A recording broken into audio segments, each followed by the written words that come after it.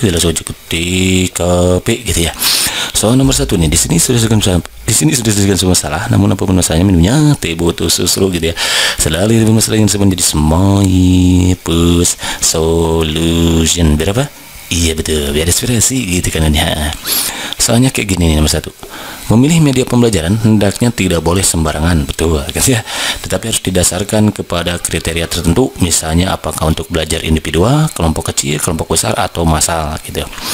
Pernyataan tersebut dalam pemilihan media termasuk ke dalam kriteria apa? A. Konteks penggunaan B. Ketersediaan C. Tujuan D. Kebermanfaatan E. As sasaran pembelajaran Oke Intinya saat kita memilih media maka kita tidak boleh sembarangan Tetapi ketika kita memilih media maka seseorang harus mempertimbangkan apa di antaranya satu mau digunakan untuk siapa? Apakah individual saja atau kelompok kecil saja atau kelompok besar atau masa gitu ya Berarti kalau begitu ini masuk kriteria adalah konteks penggunaan ketahuan ya. Kalau ketersediaan bukan wrong, tujuan juga wrong, kebermanfaatan wrong, sasaran pelajaran wrong. Jadi jawaban yang paling tepat itu yang eh, konteks penggunaannya begitu kan kan ada sih. Ini bila ijiji sudah jadi mantap. Di sini sudah dikasih masalah, namun apa masalahnya minumnya butuh susu gitu ya. Selalu lebih masalah yang menjadi small solution. Biar apa? Iya betul, beres-beres gitu kan ya. Soal nomor dua nih, soalnya kayak gini. Pada saat mempersiapkan pembelajaran, seorang guru dapat menyusun strategi pembelajaran dan menentukan media yang akan digunakan dalam pembelajaran tersebut, betul. Kemampuan dasar yang harus dimiliki seorang pendidik terkait dengan keterampilan memilih media pembelajaran adalah A. Pendidik harus menyesuaikan diri dengan kemampuan sekolah B. Pendidik harus menyesuaikan dengan model pembelajaran yang digunakan C. Pendidik harus memahami karakteristik dari media pembelajaran tersebut D. Pendidik harus mengetahui latar sosial budaya siswa dan sekolah E. Pendidik harus menyesuaikan dengan materi pelajaran Oke Ini masalahnya adalah saat kita akan mempersiapkan pembelajaran Nah saat kita akan pembelajaran Seorang guru atau pendidik gitu ya Dapat menyusun strategi pembelajaran dan menentukan media yang akan digunakan dalam pelajaran tersebut gitu kan ya.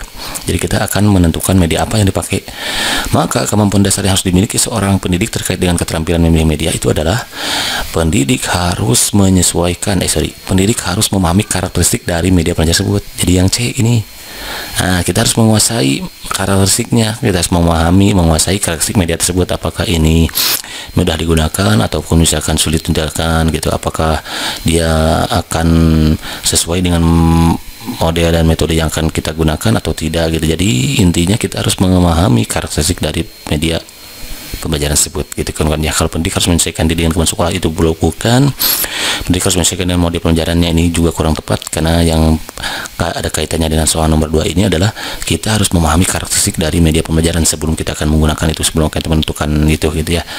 Pendidik harus mengetahui latar sosial nggak usah apalagi ini pendidik harus menyesuaikan dengan materi pembelajaran nggak usah ya. Jadi yang paling tepat itu yang C begitu kan kan Hansen Idam idam, ini sering mantap. Kalau mantap next. Soal nomor 3 nih, soalnya kayak gini nih. Di ruang media tersedia berbagai macam media yang sudah berdebu dan agak usang. Oke, banyak sekali kan kita temukan terkadang masalah seperti ini ya. Seorang sebagai seorang pendidik yang kreatif sebaiknya dapat memanfaatkan media dan memilih media mana yang akan digunakan. Betul. Dia memiliki beberapa pertimbangan dalam hal ini. Pertimbangan dalam memilih media pembelajaran yang harus diperhatikan adalah bla bla bla A. Kultur sekolah, tujuan waktu pengoperasian dan karakteristik media. B. Sasaran medi, sasaran didik, karakteristik media, waktu pengoperasian, tujuan misi visi sekolah dan konteks penggunaan. C. Tujuan sasaran pendidik, sasaran didik, gitu, karakteristik media, waktu pengoperasian, biaya kesediaan, konteks penggunaan dan mutu teknis. C. D. Tujuan sasaran didik, karakteristik media, visi sekolah dan konteks penggunaan. E. Visi misi sekolah, waktu pengoperasian, konkret konteks penggunaan, ketersediaan anggaran dan biaya kalau ini ada tujuan ini visi misi nggak usah kayaknya ya terlalu berlebihan ini gitu ya. Tujuan visi juga ada ini nggak usah. Nah ini adalah jadi gini ketika sebagai seorang guru yang kreatif ketika kita menemukan media yang berdebu dan usang sebaiknya dapat memanfaatkan media dan memilih media mana yang akan digunakan. Dah dalam memilih dan memiliki beberapa pertimbangan da, da, dia memiliki beberapa pertimbangan. Dia kok dia ya dalam memiliki beberapa apa ya laki lupa nih ini uh, dia memiliki beberapa pertimbangan dalam hal ini. Pertimbangan dalam memilih media pembelajaran uh, gitu. Mungkin di sini kayak guru ya. Pertimbangan dalam memilih media pembelajaran yang harus diperhatikan adalah yaitu tujuan kawan-kawan ya saat kita akan memilih media akan digunakan kita harus mempertimbangkan tujuannya apa sih menggunakan metode ini gitu ya. kemudian sasaran dirinya bagaimana karakteristik medianya harus seperti apa kita harus menguasai juga. Kemudian waktu pengoperasiannya kapan biayanya gimana ketersediaannya gimana konteks penggunaannya gimana kan sudah tuh penggunaan mutunya gimana. Jadi jawaban yang paling itu yang cek kawan-kawan ya. Begitu. Ansen. Inap-inap ijiji sedih mantap Next, number four. Di sini sudah disebutkan sebuah masalah, namun apa masalahnya minunya teh butuh seru gitu ya. Selalu ada masalahnya sebenarnya my solution. Berapa? Iya betul, beres-beres sih gitu kan ya. Number four soalnya kayak gini nih. Pada saat mempersiapkan pembelajaran, seorang guru harus dapat menentukan jenis media yang tepat sesuai dengan materi. Betul ya. Dilihat dari kemampuan jangkauannya, media dapat dibagi ke dalam bla bla bla. A. Media sederhana dan media kompleks. B. Media yang dapat didengar rendah saja dan media yang dapat dilihat. C. Media yang memiliki daya input, daya liput yang luas dan media yang memiliki daya liput terbatas. D. Media tradisional dan media berbasis TIK. E. Media dua dimensi dan media tiga dimensi. Oke kawan-kawan, perlu kita ketahui bahwa memang betul saat kita akan mempersiapkan pembelajaran, kita harus menentukan jenis media yang tepat sesuai dengan materi. Ya, tadi itu ya jadi di samping konteks penggunaannya kemudian ke, ke apa tujuannya maka kita juga harus di samping juga kita menguasai karakteristik media tersebut. Kita pun harus menyesuaikan ya menentukan media yang sesuai dengan materi. Itu jangan sampai nggak nyambung gitu materi. Misalkan kita akan menggunakan apa meneliti bakteri ya sementara harusnya gunakan Microsoft kita bukan Microsoft yang gunakan melainkan misalkan apa ya misalkan uh, bukan Microsoft gitulah gitu ya intinya ya. Kita harus menggunakan Microsoft malah tapi kita hanya menggunakan misalkan teleskop gitu kan ya. Nah itu nggak jelas nggak nggak baik ya kawan-kawan jadi harus intinya seperti itu sebenarnya ya. Nah namun dilihat dari kemampuan jangkauan media itu dapat dibagi ke dalam berapa apa saja gitu. Nah maka kawan-kawan perlu ketahui bahwa jenis-jenis media. Nah di sini Magis sebagai wawasan tambahan aja untuk kawan-kawan ya untuk kita semua bahwa media pembelajaran menurut Saipul Bahri Jamarah ya, dalam Jamarah Nino tahun halaman 224 tahun 2006 dibagi menjadi tiga macam media itu ya ada dilihat dari jenisnya media itu ada media auditif apa media auditif media auditif itu adalah media yang hanya mengandalkan kemampuan suara saja audio dari audio gitu seperti radio, kaset, recorder, piringan hitam gitu itu jadul banget gitu ya. Kemudian media visual adalah media yang hanya mengandalkan indera penglihatan gitu. Media audio visual adalah media yang mempunyai unsur suara dan unsur gambar. Nah, kayak emang kayak gini gitu ya. Yang memanfaatkan unsur media dan unsur suara dan unsur gambar gitu walaupun makanya tidak terlihat gitu ya. Nah, tidak terlihat namun dapat dapat dirasakan gitu gitu ya.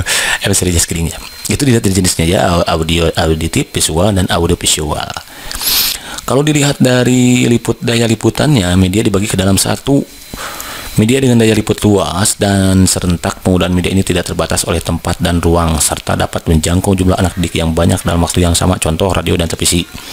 Itu dari dia bisa menjangkau jumlah anak didik dalam waktu yang sama dan banyak juga. Nah itu. Media dengan da dengan daya liput yang terbatas oleh ruang dan tempat media ini dalam penggunaannya membutuhkan ruang dan tempat yang khusus seperti film sound slide itu film rangkai yang harus menggunakan tempat yang tertutup dan gelap biasanya ya. Itu media dengan daya liput yang terbatas gitu. Kemudian media untuk pengajaran individual, media ini menggunakannya hanya untuk seorang diri. Nih, termasuk media adalah modul. Contoh modul itu penggunaan sendiri dan pengajaran melalui komputer. Ini biasanya modul ya. Itu itu media untuk pengajaran sendiri. Itu dilihat dari daya liputannya. Oke, berikutnya dilihat dari bahan pembuatannya. Jadi media juga ada media sederhana, di mana media sederhana adalah bahan dasarnya mudah diperoleh dan harganya murah. Cara pembuatannya mudah, penggunaannya tidak sulit. Jadi alat peraga lah kayak gitu ya. Media sederhana itu alat peraga. Media kompleks, media kompleks itu adalah media yang bahan dan alat pembuatannya penggunaannya memerlukan keterampilan yang memadai. Kalau ini agak sulit gitu. Prestasi belajar siswa dipengaruhi oleh beberapa macam media pembelajaran terkait dalam penelitian ini. Penggunaan media pembelajaran yang paling berpengaruh terhadap ini gak usah ya nggak usah dibaca aja aja. Tujuan dari ini ini, ini maka kita lu banyak kopinya nih sorry ya. Diambil dari tadi ya dikutip dari Baharudin Cel tadi?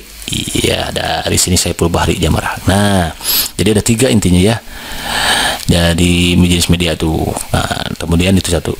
Nah tadi soal yang tadi yang nomor berapa tadi? Yang 4 itu media dilihat dari kejangkauannya. Berarti media dibagi dari jangkauannya mana?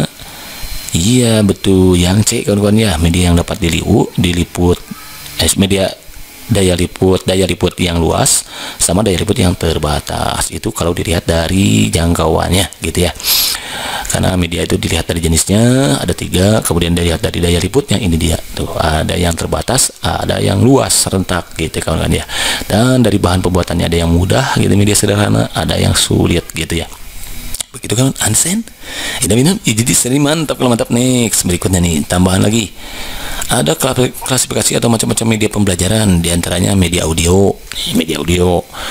Berfungsi untuk menyalurkan pesan audio dari sumber pesan ke penerima pesan. Media audio berkaitan erat dengan indera pendengaran. Contoh media yang dapat dikelompokkan dalam media audio di antaranya radio tipe recorder telepon laboratorium bahasa gitu. Itu audio. Media visual yaitu media yang mengandalkan indera penglihat.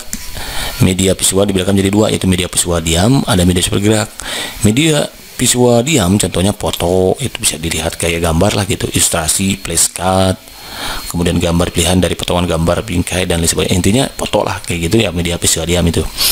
Bisa dilihat tapi diam gitu ya. Nah, ada media, media visual gerak contoh gambar-gambar proyeksi bergerak seperti film bisu dan sebagainya contoh powerpoint kayak gitulah.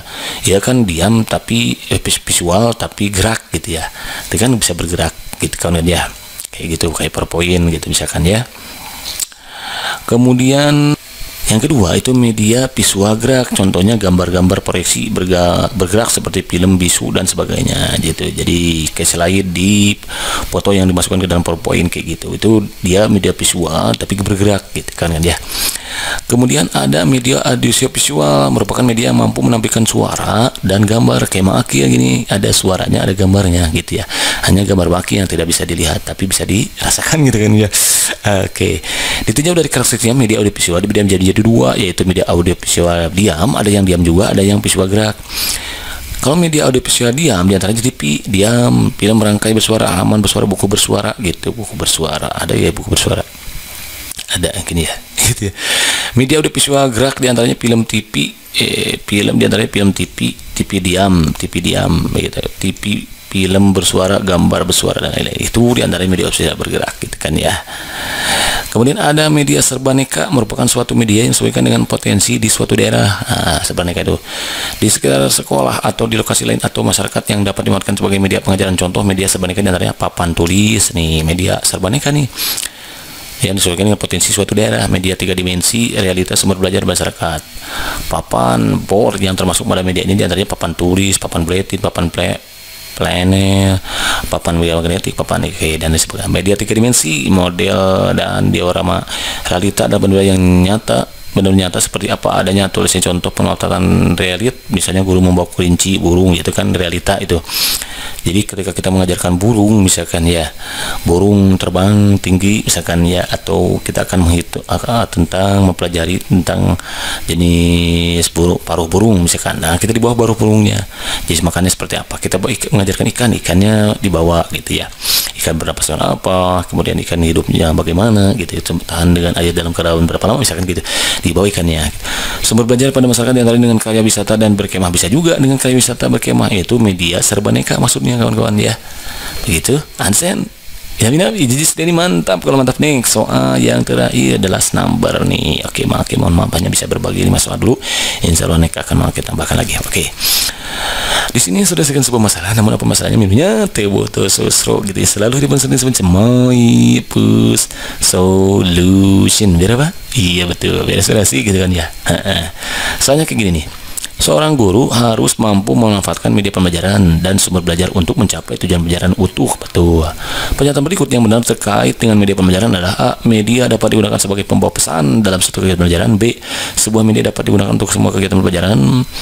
Sebuah media nggak nggak nggak nggak selalu ini ya nggak semua kegiatan pembelajaran nggak selalu nah, media pembelajaran yang paling baik adalah media yang berbasis TIK belum tentu gitu kan tadi disesuaikan dengan kondisi daerah misalkan ya Media dapat digunakan sebagai alat untuk meningkatkan motivasi belajar sedikit. Bisa jadi sini juga bagus ya. Memilih media tidak perlu banyak pertimbangan agar tidak merepotkan. Nah, ini nggak usah. Oh, justru harus banyak pertimbangan ya. Nah, antara A dan D. Namun karena ini kaitannya dengan ini, ingin dia kan seorang guru harus memanfaatkan media pelajaran untuk mencapai tujuan. Nah, kalau tujuannya untuk mencapai tujuan berarti media dapat digunakan sebagai pembawa pesan dalam satu kegiatan pembelajaran. Jadi membawakan pesan tujuan gitu agar sehingga tujuan tersebut tercapai. Jadi kalau begitu jawabannya kotor yang A, yang A begitu kan kan? Ini jadi mantap.